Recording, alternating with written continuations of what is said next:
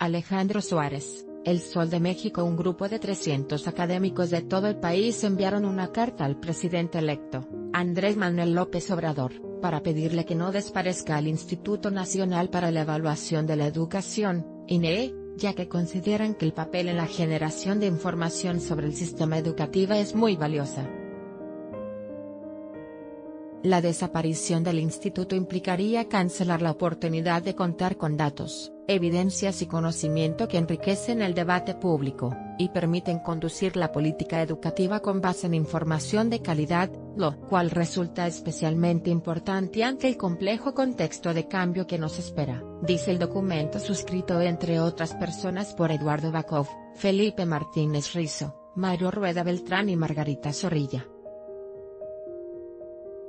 La semana pasada, el diputado morenista e integrante de la INTE, Irán Santiago Manuel, presentó una iniciativa para derrogar la reforma educativa, la cual incluía la desaparición del INE al argumentar que no logró su objetivo de obtener un diagnóstico del sistema educativo, al tiempo de que se violentaron los derechos laborales de los maestros.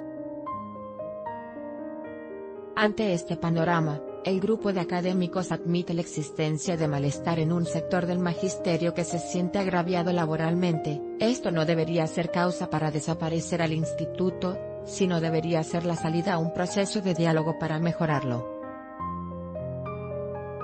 Hacemos un llamado a todos los interesados en mejorar la educación del país a aprovechar esos elementos a fin de analizar la relevancia de la permanencia del INEE, por la cual estamos abogando, añade la carta. Por eso, piden tanto a López Obrador, como a Esteban Moctezuma Barragán, propuesto para ser el nuevo secretario de Educación Pública, valorar el trabajo del INE en el diseño de políticas públicas en materia educativa. El INE nos ayuda a conocer el estado de la educación, y los avances en relación con el cumplimiento del artículo 3 constitucional, así como de los acuerdos internacionales que México ha suscrito en relación con el derecho a la educación.